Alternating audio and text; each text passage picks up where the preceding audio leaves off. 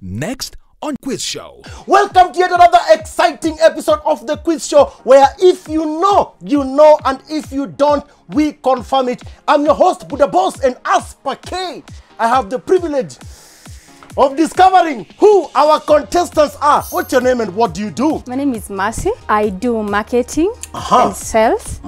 Yeah. Kaka, what's your name and what do you do? My name is Ken. Yes. And I'm also a marketer. You're also a marketer? Yes. All right. What's the name of this team?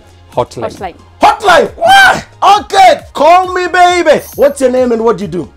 I'm Susan. Yes. I'm a hairdresser and a makeup artist. Madam, what's your name and what do you do? My name is Mercy. Yes, and I'm a hotelier. Name the three primary colors.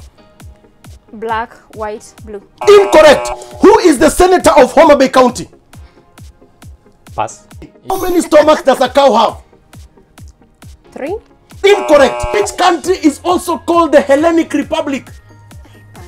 Is it A, B, C, or D? Outgoing. Outgoing! Yeah! I like it. Okay, let's go out and get another answer that is incorrect. Give me your answer on behalf of your team. D. Uniformity. D uniformity. You guys are awesome. Ah. Incorrect.